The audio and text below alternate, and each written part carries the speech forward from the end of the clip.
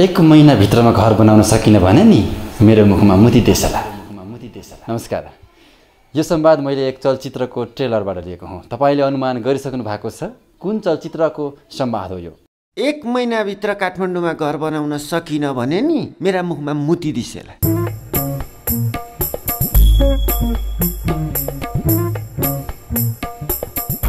चलचित्र जात्राको संवाद मैले यहाँनिर लिएको हुँ। आज म चलचित्र जात्रासँग सम्बन्धित केही कुराकानी गर्न चाहन्छु। चलचित्र जात्राको ट्रेलर हेर्नुभएको छ या छैन?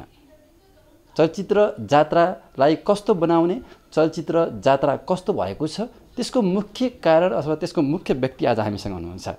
चलचित्र जात्राका निर्देशक प्रदीप भट्टराई हामीसँग हुनुहुन्छ। उहाँलाई स्वागत गरौँ। स्वागत छ तपाईँलाई। हस् धन्यवाद गोपकृष्ण भाइ।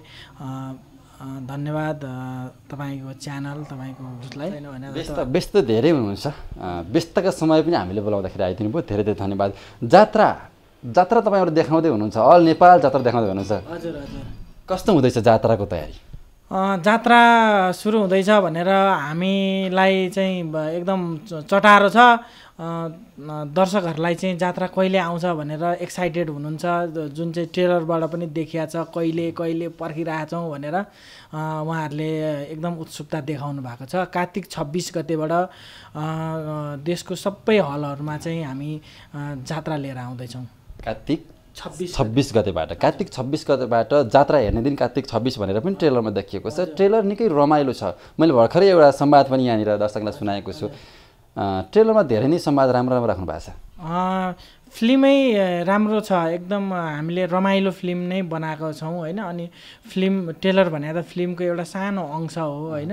फिल्म कस्तो बनेको छ भनेर चाहिँ मान्छेलाई घचघच्याउन मात्र गरिएको हुन्छ। त्यही भएर फिल्म टेलरभन्दा धेरै राम्रो बनाएको छौँ हामीले। भनेपछि हामीले यो बुझौँ कि ट्रेलर हेर्नुभएका दर्शकले अझ बढी फिल्म राम्रो छ। पक्कै पनि हामीले एकदमै मेहनत गरेर बनाएको छौँ होइन। हुन त सबैले मेहनतै गरेर बनाएको हुनुहुन्छ होइन। तर मलाई चाहिँ मेरो अनुभवले मैले आजसम्म पन्ध्र सोह्र वर्षमा जति पनि काम गरेँ र बाह्र तेह्र वर्षदेखि मदन दाई हरदाई मह जोडीको हास्य युनिभर्सिटी भन्छु म त उहाँहरूलाई होइन। उहाँ उहाँहरूसँग बाह्र तेह्र वर्षदेखि उहाँहरूको उहाँहरूका प्रोग्रामहरूलाई कति प्रो प्रोग्रामहरूलाई मैले लेखेँ होला कति प्रो प्रोग्रामहरूलाई निर्देशन गरेर उहाँहरूको हरेक राम्रा कुराहरू सिक्दै आएको हुनाले उहाँहरूको धेरै नभए पनि केही अंश मात्रै मैले छोड्न पाएँ भने पनि म आफूलाई भाग्यमानी सम्झिन्छु। त्यही भएर रमाइलो स्कुलमा पढेको मान्छे म होइन उहाँहरूको रमाइलो फिल्म बनाएको छु। मैले यहाँनिर दर्शकलाई अझै प्रदीप भट्टराई को हो भन्ने दर्शकलाई म केही कुराहरू यहाँनिर जोड्न चाहन्छु किनकि निर्देशनको क्षेत्रमा धेरै चर्चित नभए तापनि प्रदीप भट्टराई बाह्र तेह्र वर्ष हरिवंश आचार्य मदन कृष्ण श्रेष्ठ महजोडी त पक्कै पनि दर्शकले चिन्नु भएको छ। महजोडीसँग सम्बन्धित रहेर काम गर्दै आउनुभएका प्रदीप भट्टराई आज अहिले फेरि फिल्मतिर पनि आउनु भएको छ। योभन्दा पछि कुरा पनि महजोडीकै फेरि फिल्ममा पनि निर्देशन गर्दै हुनुहुन्छ। मैले यहाँनिर थोरै महजोडीको कुरा गर्न चाहन्छु। अलिक बढी चर्चित महजोडीको कुनै कुन कुन सिरियल नाम लिन पर्दा तपाईँ निर्देशन गरेका? अँ म अहिले जस्तो बाह्र तेह्र वर्षदेखि महको जति पनि प्रोग्रामहरू बने जति पनि एडहरू बने सबै मैले गरेको हो त्यो होइन? जस्तो मैले सुरुमा टिकेको तिन मन्त्र भन्ने प्रोग्रामबाट सुरु गरेको त्यसपछि मदन बहादुर हरिबहादुरको त्यत्रो सि सिरिजै दर्शकले अत्याधिक मन पराउनु भएको सिरियल मदन बहादुर हरिबहादुरलाई निर्देशन गर्ने निर्देशक पनि भट्टराई हजुर हजुर दाईहरूले त्यो अवसर दिनुभयो। होइन धेरै काम गर्यो हामीले मह सञ्चारबाट महजोडी एक त त्यसै चर्चित हुनुहुन्छ उहाँलाई सम्मान अथवा त्यही हिसाबको छ अहिलेसम्म कुरा गर्दाखेरि। उहाँहरूबाट सिकेर आउनुभएको प्रदीप भट्टराई आज जात्राको निर्देशक हुनुहुन्छ। जात्रा पनि निकै उत्कृष्ट बनाउनु भएको छ। आफू म हामीले बनाएको छौँ। अब दर्शकले के भन्नुहुन्छ? हामीले त उत्कृष्टै बनाउने हो होइन? रमाइलो फिल्म। अहिले ज दर्शकहरूले एकदमै रमाइलो फिल्म हेर्न खोजिराख्नु भएको छ भन्ने कुरा छक्का पन्जाले पनि देखायो होइन? त्यही भएर रमाइलो फिल्म हँसाउने फिल्म फिल्म भनेको त हँसाउनै पर्छ रुवाउने त नेताहरू पनि छन् नि भन्ने मेन चाहिँ के अरे हँसाउनको लागि दर्शकहरूलाई केही छिन दुई घन्टा तिन घन्टा भए पनि हामीले आनन्द दिन सक्यौँ भने हामी चाहिँ ठुलो भा भाग्यमानी सम्झिन्छौँ त्यो जस्तो जात्रा हेर्नको लागि पछिल्लो समयको ट्रेन हेर्ने हो भने फिल्महरूमा अलिक फरक खालका संवादहरू ल्याएर चलाइएको छ। तपाईँले पनि त्यसैलाई समात्नु भएको फरक टाइपको भन्दा पनि मलाई चाहिँ कस्तो भने अहिले चाहिँ हाम्रो चाहिँ एकदम रियलिस्टिक डायलगहरू के नेचुरल डायलगहरू जे चाहिँ हाम्रो हामीले सुनिरहेको डायलग हुन्छ त्यस्तो डायलगहरू मलाई त फरक चाहिँ पहिलाका फिल्महरूमा जस्तो मेलो ड्रामा के जहाँ चाहिँ हामीले हिरोको मुखबाट हिरोइनको मुखबाट मात्रै सुनिन्थ्यो त्यस्ता शब्दहरू समाजमा सुनिँदैन थियो अहिले चाहिँ हामीले समाजमै बोलिने डायलगहरूलाई नै बढी चाहिँ अलिकति त्यसलाई रमाइलो तरिकाले रमाइलो प्रस्तुति दिएर नै बोलाएका छौँ। कार्तिक छब्बिस छब्बिस गतेबाट जात्रा हेर्ने दर्शकलाई जात्रा हेर्न जाउँ कि अर्को फिल्म हेर्न जाउँ कि भन्ने दोधार भएका दर्शकलाई ठ्याक्कै जात्रा हेर्न पर्ने मुख्य तिन कारण भन्नु पऱ्यो भने के के भनिहाल्ला अँ, एउटा त हामीले त्यो दर्शकहरूलाई चाहिँ टेलरै छोडिसक्यौँ होइन? टेलर छो छोडिसक्यो किन हेर्ने भनेर चाहिँ छोडिसक्यौँ। एउटा त रमाइलोको लागि हेर्ने हो। मेन मुख्य भनेको फिल्म भनेको सबभन्दा सुरुमा रमाइलो हो होइन? रमाइलो हो। अनि त्यसपछि अर्को भनेको हामीले एकदमै अर्ग्यानिक भन्छ नि अहिले एकदम चलेको अर्ग्यानिक विषयवस्तु जो चाहिँ आफ्नै माटोको कथा होस् आफ्नै गाउँको व्यथा होस् आफ्नै आफ्नै समाज बोलोस् होइन? आफ्नै बासना आओस् होइन? विदेशी मसला मसलादार फिल्म त बनाउनै पर्छ तर त्यस कारण विदेशी मसला चाहिँ बास्ना आउनु भएन आफ्नै बारीमा फलेको धनियाँ लसुन प्याज होइन? अँ हो त्यो किसिमको आफ्नै बासना आउने खालको फिल्म बनाएको छौँ होइन? अनि त्यसपछि दोस्रो कुरा भयो अनि तेस्रो कुरा भनेको चाहिँ यसमा अभिनय गर्ने कलाकारहरू एकदमै अभिनयमा पोख्त हुनुहुन्छ होइन? जस्तो विपिन कार्की जो चाहिँ छड्के चलचित्रमा बिन्दुको नामले एकदमै चर्चित हुनुभयो पशुपति प्रसादमा भस्मे भनेर चिन्नुभयो अर्का रविन्द्र सिंह बानिया जो हनुमानजी हुनुहुन्छ होइन? उहाँले टलकजङ भर्सेस टुल्केमा पनि राम्रो अभिनय गर्नुभएको छ। वर्षा राउत अहिलेको एकदमै एकदम पारसमणि अहिले त के जे छोयो त्यो हिट हुन्छ भन्छ वर्षाले त। होइन नाइ नबन्नु ल खेले हिट छक्का पन्जा खेले हिट अब के हो जात्रा भनेर भन्छन् टेबललाई होइन?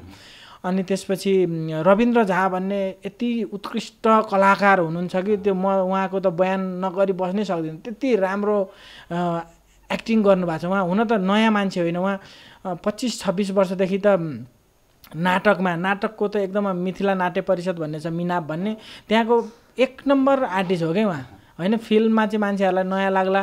त्यही भएर कुनै कोही आर्टिस्टहरू नचिने जस्तो देखिएला जात्रामा तर सबै पोख्त आर्टिस्टहरू मात्रै हामीले अनुहार भन्दा पनि हामीले अभिनयलाई चाहिँ बढी जोड दिएका छौँ। अनुहार त फोटो एउटा हाने पनि आउँछ नि त। मान्छेले हेर्ने भनेको दर्शकले हलसम्म गएर हेर्ने भनेको त अभिनय हो। त्यही भएर यी सबै कुराहरूले ले चाहिँ तपाईँलाई चाहिँ उत्सुक बनायो भने चाहिँ जात्रा हेर्न पर्छ भन्ने लाग्छ मलाई। भनेपछि हामीले यहाँनिर अझ अझ मेन कुरा बुझ्दाखेरि चर्चित कलाकार हुनुहुन्छ अझ पोख्त अभिनय गर्ने कलाकार हुनुहुन्छ फिल्ममा। पक्कै पनि एकदमै राम्रो अभिनय गर्ने कलाकारहरू हुनुहुन्छ सबैजना होइन? त्यसको हाइलाइट्स त हामीले देखाइसक्यौँ टेलरमा पनि सबैले अभिनय सबै आर्टिस्टहरूको जति देखिनु भएको छ त्यहाँ जति हट्नु भएको छ सबै कलाकारहरूको अभिनयको तारिफ गर्नुभएको छ। यहाँनिर प्रदीप भट्टराईको यो जात्रा फिल्म ठुलो फिल्मको निर्देशन डेब्यू फिल्म हो। मेरो पहिलो फिल्म हो यो। पहिलो फिल्म कस्तो हुँदो रहेछ? ठुलो फिल्ममा सानो पर्दाका फिल्ममा धेरै गर्नुभयो सिरियलहरूमा धेरै गर्नुभयो बाह्र तेह्र वर्षको एक्सपिरियन्स लिनुभएको छ। ठुलो फिल्ममा आउँदाखेरि केही फरक पाउनुभयो? होइन मैले म सुरुमा आएको त ठुलो फिल्मबाटै हो पछि मात्रै बिचमा आएर जम्प गरेको हो टेलिभिजनमा। होइन म तिन चार वर्ष पहिला सुरुमा लाग्दाखेरि जुन सोह्र वर्ष र यता मोहन दाईसँग आएको बाह्र वर्षभन्दा त्यो बिचको टाइम तिन चार वर्ष त फिल्म नै गरे हो होइन।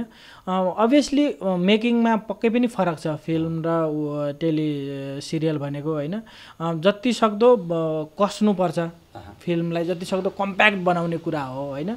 धेरै कुरालाई धेरै टाइमलाई धेरै चिजलाई एकै ठाउँ एकदम देखिने गरेर साँगुरो बनाएर मिलाएर डिस्प्ले गर्ने हुन्छ नि? त्यो चिज भनेको चाहिँ फिल्म हो जुन हेर्दाखेरि धेरै थोक पनि देखियोस् अनि त्यसपछि मिलेको पनि देखियोस्।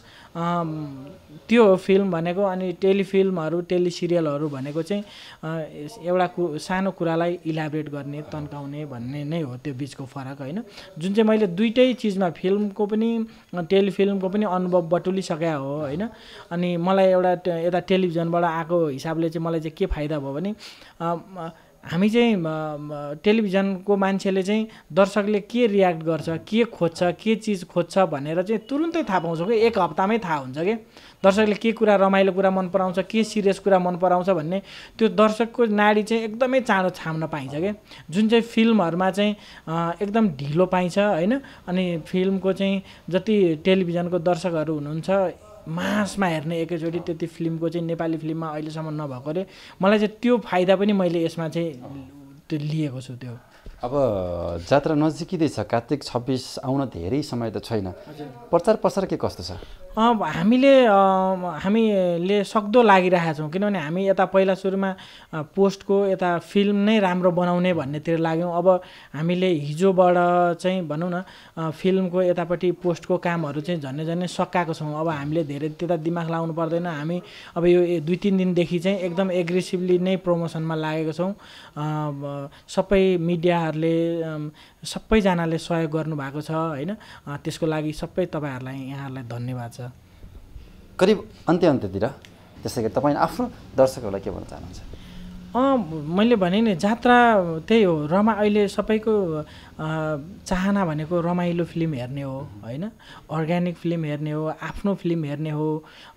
फिल्म चाहिँ जीवनसँग एकदमै नजिक हुन् हुन्छ भन्ने अहिले जुन पहिलाको र अहिलेको फिल्म भनेको चाहिँ हामी हाम्रो जीवन जस्तै हुनुपर्छ भनेको छ नि।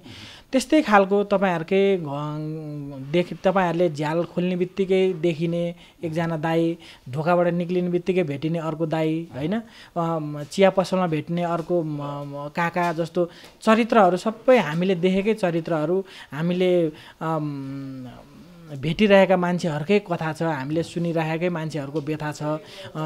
ती व्यथा कथा ती भोगाइहरूलाई चाहिँ रमाइलो तरिकाले कसरी मनोरञ्जन दिनेछ कसरी हँसाउन सकिन्छ भनेर हामीले दुःख गरेर फिल्म बनाएको छौँ त्यो रमाइलो गर्न चाहिँ पक्कै पनि दर्शकहरू आउनुहुन्छ भन्ने मैले ठानेको छु हुन्छ कार्तिक छब्बिस गतेबाट जात्राले ठुलो जात्रा नै ल्याओस् जात्रा हेर्नेमा ओहिरियोस् हामीलाई शुभकामना छ तपाईँलाई। हस् हस् थ्याङ्क यू सो मच तपाईँहरूलाई। एकदमै धेरै धेरै धन्यवाद गोपकृष्णजी।